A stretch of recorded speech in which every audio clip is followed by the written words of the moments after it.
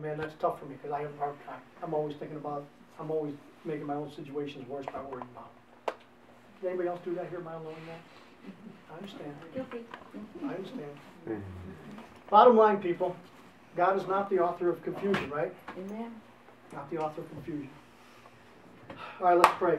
Father, we thank you that we have the full spectrum of light here at Grace Gospel Fellowship. We see your word, we see it rightly divided. We understand the Bible exactly as it was, as it was written, line upon line, word upon word.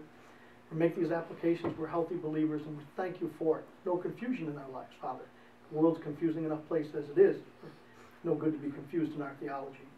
We thank you for the salvation that comes only and exclusively through the shed blood of Jesus Christ on Calvary's cross. We thank you for all the saints that are here tonight that uh, suffered through the teaching. Uh, we thank you for this wonderful little church that is honestly preaching your word as clearly and as distinctively as possible. We thank you for all these things in the name of your Son and the power of the Spirit. Amen. Amen. Thank you. Thank you. I'm gonna go. Oh, mother, the puppies are out, mother. I left them out. Thank you. Puppies away. Oh, there was something. They went from here. And I said, I'm here at nine. I wanna go home and lay them out. No. Full spectrum. Yes. I want the full spectrum. She, she missed. I don't want that infrared stuff. I don't want x-rays.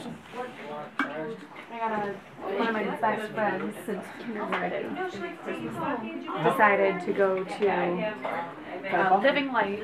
Yeah. What's going on right now? Why are we filming? Because we can. Because, because we can. Making That's fine. Yeah.